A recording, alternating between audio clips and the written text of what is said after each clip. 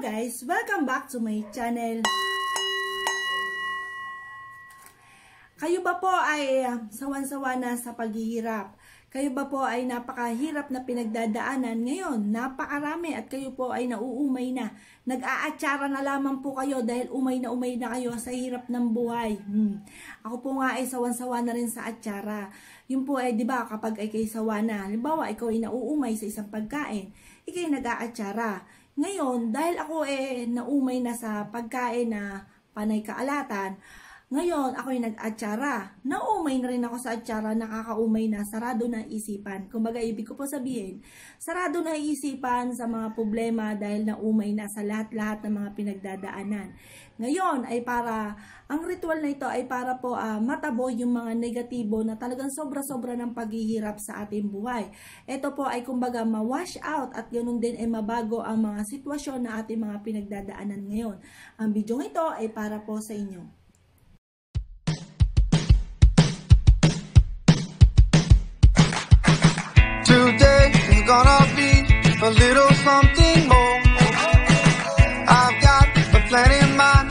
pasó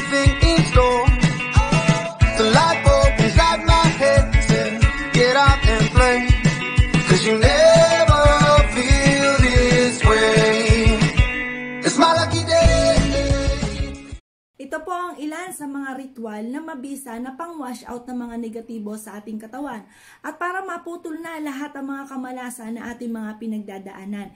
Ito po ay ilan sa mga ritual na mabisa. Ganito po ang inyong gawin. Wala po sinasabi ditong araw pero mas mainam para mas matalab na talab. Alam niyo naman ang mga espiritu at pang pagganap sa mga ganyan ay pinakamainam ang Tuesday or Friday. Ayan. Ngayon po ang pagganap po niya ay gawin na lang natin ng Tuesday. At pagkatapos po, ay doon sa ating paliguan, lagyan po natin ng konting asin. Ngayon po, kapag po, kagaya na sinabi ko po sa inyo, ay mainam eh, pagkatapos po nating maligo, yung malinis na tayo, saka po tayo maglalagay ng pinaling asin.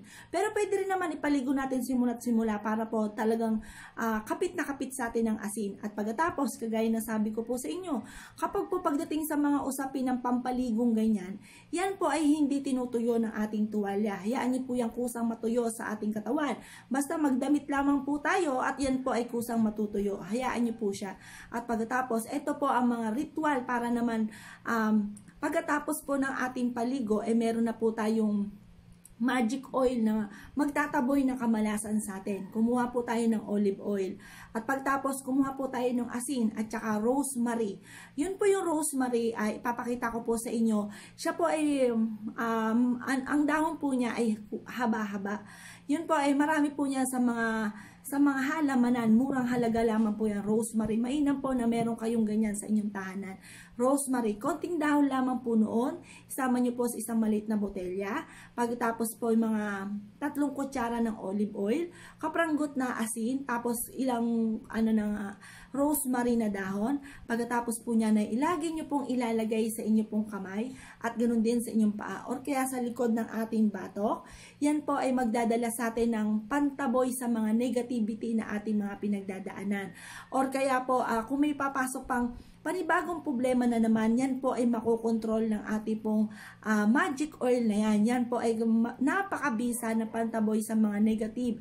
Kung, at saka po, instead na negative ang pumasok sa atin, positive po ang papasok sa ating buhay.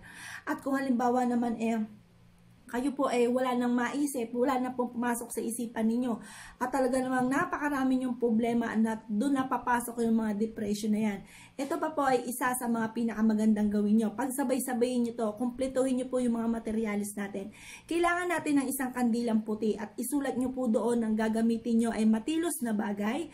Ay sulat nyo po doon ang tunay ninyong pangalan kasama na po ang ipilido doon po sa ating kandila. Pero kailangan ng kandila natin ay uh, may kakayahan kayong yung ubusin siya. Kaya kailangan manipis lamang yung inyong kandilang puti or uh, maliit lamang yung inyong kandilang puti. Pero maliit pero yung mga ganito ha baka po maliit na tira-tirahan. Hindi po hindi po tayo pwedeng gumamit ng mga pang-ritual na tira-tirahan. Dapat po laging bago.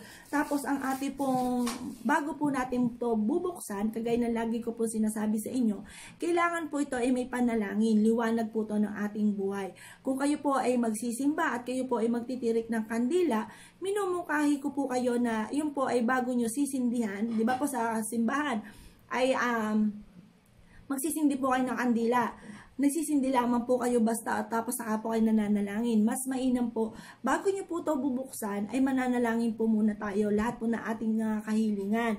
At pagkatapos, saka po natin siya bubuksan. Ito po kasi ay liwanag na ating buhay. Ganun po yon Pagkatapos po, kailangan po itong ating kandila, kagaya na lagi ko po sinasabi sa inyo, kailangan eh, isang bukasan nyo lamang dito sa ating kandila ay bukas na. Kasi po, once na ito ay binuksan ninyo, nagdiretso po dito kayo sa lid ng ating kandila. At itong ating kandila ay hindi maganda bukas-bukas. Maaaring kayo ay nag-testing ng inyong paninde. Halimbawa, ang lighter nyo ay wala namang gas. Or kaya ang inyong pospro ay basa at ito ay sindi-sindihan nyo dito hindi maganda sindi-sindi. Yan po isang pangit na pangitain. Maaaring marami pa negatibo na dumating sa inyong buhay at lahat ng inyong mga kahilingan ay hindi pa matupad. Kaya mas mainam kung kayo po ay magsisindi ng kandila, kailangan ay sindi po kaagad para lahat ng ating mga kahilingan ay magagrant. O di ngayon, pag ito po yung nabuksan nyo na, kailangan po hanggang tatlong pagbubukas ay kailangan ay bukas na. Pero kung iyon po ay magaganap eh nakatatlong pagbukas na kayo ay ayaw talaga magsindi, papalitan niyo po ang ating kandila at magwi-wish po muli kayo, uukit po muli kayo ng larawan. Kaya minumukahi ko po kayo na bago niyo po ito buksan ay kailangan ay alam ninyo yung inyo pong paninde ay magbubukas kasi once na hindi po ito nagbukas ay uulitin niyo po yon. O di yan na, nabuksan na po natin. Pagkabukas po natin, ay maglaan po tayo ng isang uh, red wine. Yan. Kahit mumurahing red wine lang, kahit konti lamang po, ay pwede na po yan. Pagkatapos po niyan, kapag ito po ay habang nasa kalagitnaan na, habang kayo ay nagwi-wish, iinumin niyo po ang inyong red wine. Yan po ay pantaboy sa mga negativity na nakakapit sa inyong pong katawan. At pwede rin po pagkatapos po ng halimbawa sa umaga, nagawa niyo na yung ritual natin ng paliligo, ganun din po yung ating paggawa ng oil at ito rin po yung pag-inom ng ang red wine at ganun din yung sa ating kandila. Sa umaga po ay pwede rin natin gawin to or sa gabi pwede rin po ninyong gawin. Kumuha po kayo ng brown, yung native na na itlog ng manok, isa lamang po yon. Tapos isulat nyo po, kumuha kayo ng permanent marker at isulat nyo po doon sa itlog na yon ang tunay nyo pong pangalan totoong pangalan, tapos kasama na po ang ipilido. At pagkatapos po niyan, ay itapon nyo po yon sa malayong malayo. Basta uh, yung tipong pagkatapon nyo ay sabay talikod at hindi na po lilingunin. Lahat po ng mga negative na nasa inyong katawan ay matataboy na po yan. Tapos po, um, basta pag gumawa po kayo ng mga ganyan, hindi nyo po kailangang ipagsabi kahit kanino. Lalo na ang buong detalye ng inyong pagganap. Kailangan po ito ay kayo lamang ang nakakaalam. At ito po ay sikretong malupit na wala po kahit, kahit, kahit kanino kayong pagsasabihan. Kaya ay nanay mo, kaya ay kapatid mo, best friend mo, anak mo, asawa mo, hindi ka po dapat magsasabi sa kanila. Basta sa isipan mo ay, ay ikaw po ay na-wash out na at ikaw po ay kumbaga eh malapit na dumating ang swerte dahil naganap mula lahat at lubos ang paniniwala mo na ikaw ay magbabago at ikaw ay lahat ng mga pangarap mo ay matutupad.